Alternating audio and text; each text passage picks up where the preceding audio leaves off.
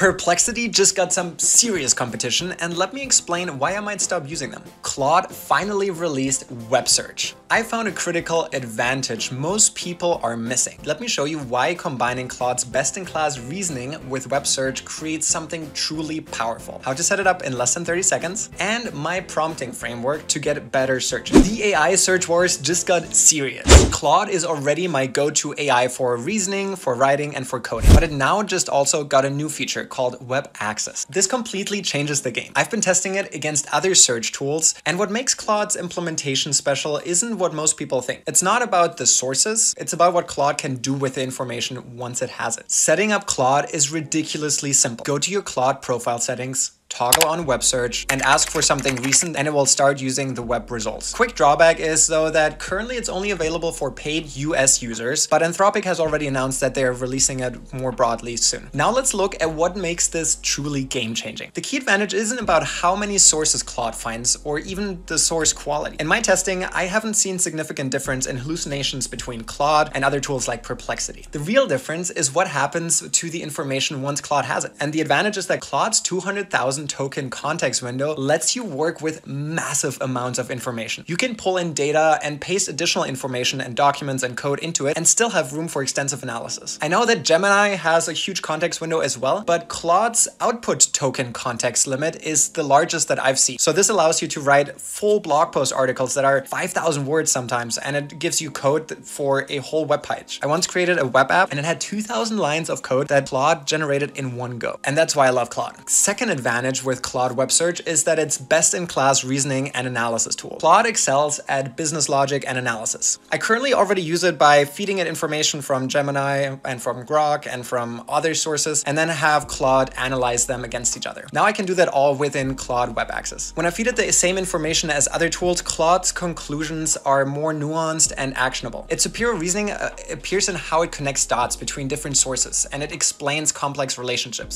If you want to get the most out of Claude Web Search, search right now, you should use the following framework. Claude search is dramatically better when you give it specific prompt structure. Ask it for multiple perspectives, specify time periods, request direct citations, and ask for verification across sources. This simple framework ensures you get the most comprehensive analysis possible. I even put together this prompt that has all of that baked into it, and you just need to fill in the blanks. It will give you a really powerful output. Remember, this is day one of Claude's web search. It's literally the worst it will ever be. Consider that Claude's reasoning, writing, and coding capabilities have consistently improved with each update. As this feature matures, the integration between real-time information and Claude's analytical capabilities will only get stronger. What we're seeing today is just the beginning. This is helpful to you. I also created this complete Claude mastery guide covering everything from document analysis to coding with this new Web enhanced feature and so many other things that make you more productive when you use Claude. You can check out the link in the description. And if you want to see examples of how to use Claude Web Search for your own business purposes, you need to watch this video. Peace